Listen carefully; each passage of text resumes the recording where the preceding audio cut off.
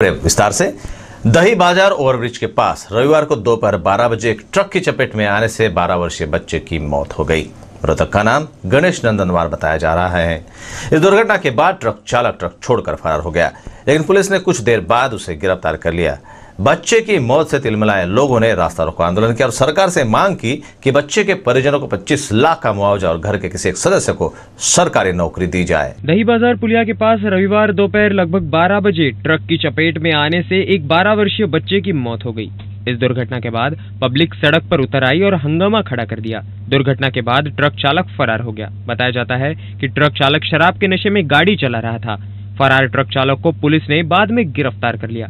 हादसे के बाद जमा हुई पब्लिक ने जमकर हंगामा किया। पब्लिक की मांग थी कि दही बाज़ार में प्रतिदिन अनाधिकृत बाज़ार लगता है, जिसके कारण आए दिन हादसे होते ही रहते हैं। वहाँ उपस्थित नागरिकों से सरकार से 25 लाख रुपए के मुआवजे तथा बच्चे के परिवार के किसी एक सदस्य को सरकारी नौकरी देने की मांग की है। सव्वा बाराच्या दरम्यानची गोष्ट आहे. न होणारी घटना इथे ठेकेदाराच्या आणि शासनाच्या चुकीमुळे घडलेली आहे. तर आमचं म्हणणं एवढंच आहे फक्त तो जो मुलगा होता दहा ते अकरा वर्षाचा होता आणि तो हँडिकॅप मुलगा होता तो मुलगा जो आहे समोर कुटुंब पोषक बनू शकलेला असता. त्या मुलाच्या घरची आर्थिक परिस्थिती बिलकुल खराब आहे. त्या मुलाला महाराष्ट्र शासनाकडून योग्य ती योग्य ती योग्य ती मदत मिळायला पाहिजे. त्याच्या परिवारामध्ये कोणाला त्याच्या परिवाराला कोणाला नोकरी मिळायला पाहिजे आणि त्याला ठेकेदाराकडनं एक विशेष वेगळी मदत म्हणून मिळायला पाहिजे. आणि इथे जी व्यवस्था जी आहे बाजाराची की हा अथराईज बाजार नाही आहे मागच्या भरपूर काही दिवसापासून हा बाजार इथे भरतो. या बाजारामुळे अशा लहान मोठ्या छोट्या भरपूर घटना झाल्या. ही चौथी ते पाचवी घटना आहे. याच्या आधी मारवाडी चौकामध्ये सुद्धा अशा प्रकारचं फायटल झालं होतं. या फायटलमध्ये सुद्धा एक चोवीस वर्षाच्या तेवीस वर्षाची जी मुलगी ऑन द स्पॉट मरण पावलेली होती. याच्यामुळे जी अजून जो हा जो टी पॉईंट जो झालेला आहे इथे अजून समोर अपघात होण्याची संभावना आहे.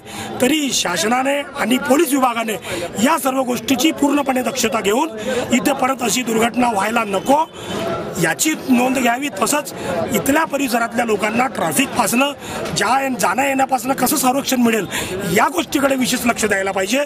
आणि आमचं म्हणणं हेच आहे नागपूर महानगरपालिका किंवा महाराष्ट्र शासन किंवा भारत सरकार या तिन्ही लोकांनी एका ठिकाणी बसून ज्या परिवारावर हे जे आघात घडलेला आहे, त्या परिवाराला पुनर्वसनावर त्यांना नोकरी मिळायला पाहिजे आणि कंपन्सेशनचा जो अधिकार जो आहे तो पूर्णपणे त्यांचा अधिकार इस दुर्घटना के बाद एक बात तो साफ़ हो गई है कि इस निर्माणाधीन पुलिया के आसपास अव्यवस्था का आलाम है। लोगों ने यहाँ से बाज़ार को भी हटाने की मांग इस दौरान की है, तथा संबंधित ठेकेदारों से भी मुआवजा देने की मांग नागरिकों ने इस दौरान की। के उनको बुला के यहाँ बताए कि ब्रिज को आगे मत बढ़ाइए फिर भी इन लोग ने बढ़ाए और ओपन कार्य चलता है ऐसा कोई भी वहाँ सावधान करके आप ब्लैन करके और ले, लेबल लगा के खींच के वो लोगों ने कोई कार्य नहीं करते। एकदम ओपन काम बड़ा करेंगे बड़ा हाँ यहाँ या पूरा ओपन कार्य चलते रहता है इधर में। यानी कोई बोर्ड नहीं है कोई सावधान के ऐसा स्टैंड लगा के नाम का नहीं करता। और बड़े ट्रक आवा जावन यहाँ माल ले जाने के लिए लोहा ले जाने के ब्रिज का वर्क करने ये बिल्कुल खुले आम करते रहते हैं। इनको कितने बार हम लोगों ने भारतीय जनता पार्टी के जितने भी कार्यकर्ता है काफ़ी बार उनको हम लोगों ने समझाए लेकिन ये नहीं माने।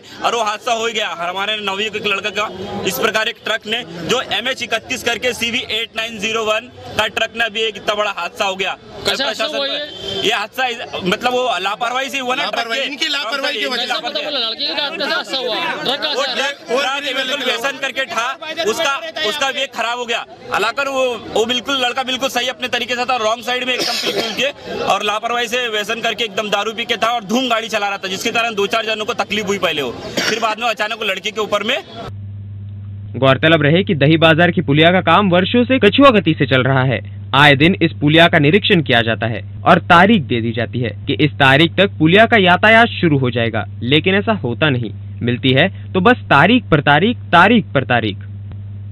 कैमरामैन इरफान खान के साथ राकेश यादव इन न्यूज़।